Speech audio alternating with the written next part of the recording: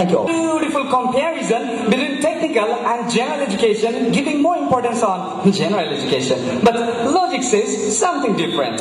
According to Bangladesh Educational Journal, published from Ministry of Education in April 2011, it takes 9 to 10 years with session jam in universities for students starting their career after HSC exam. And getting a job is a matter of far away. On the other hand, students generally from the background of technical sector become self-sufficient after their SSC exam.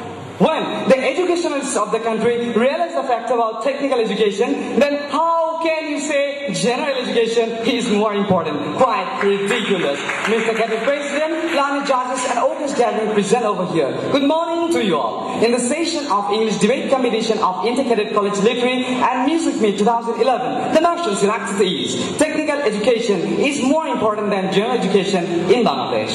My first speaker against the motion pointed out technical education has an unnecessary builder of second class and hollow people. Quite amazing. Let's see what data says.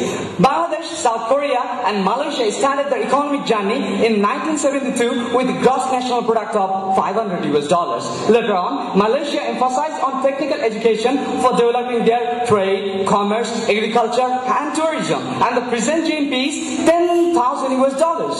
Again, it's needless to say about South Korea. They have brought a tremendous change in the sector of technology to technical education within this period of time. And forgetting the proof, put off your wristwatch and see what's written in that. Made in China, made in Japan, made in South Korea.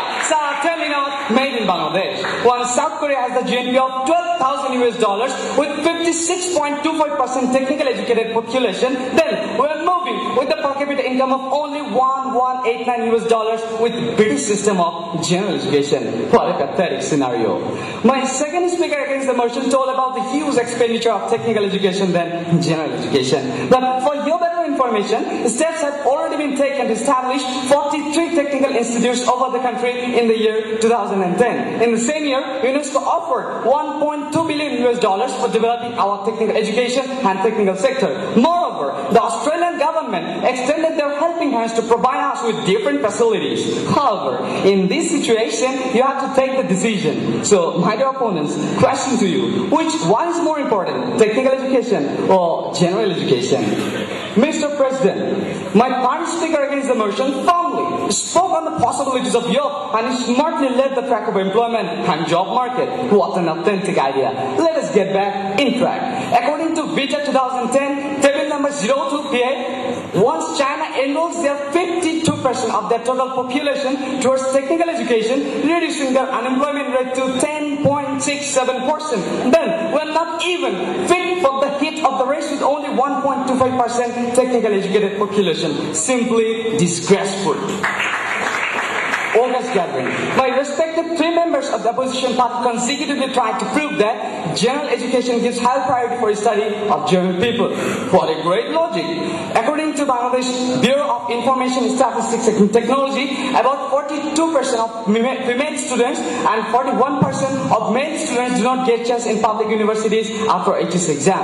And 26% of them become completely unemployed. Hearing all of this, if you can give high priority to general mass of people of general study denying technical education, then I must pronounce in the voice of Alexander. Oh, Mr. Lucas, what a multicolor is. Dear cadets from two cadet colleges, when we're enjoying this fantastic debate competition in this beautiful auditorium of Faujdarhat Cadet College, then can you say why 24.67% of our population is starving? Can you say why 31.83% of our population who are educated but unemployed are wearing their souls of the shoes in search of jobs? I know the answers, but my dear friends of the opponents are keeping themselves quiet. August gathering.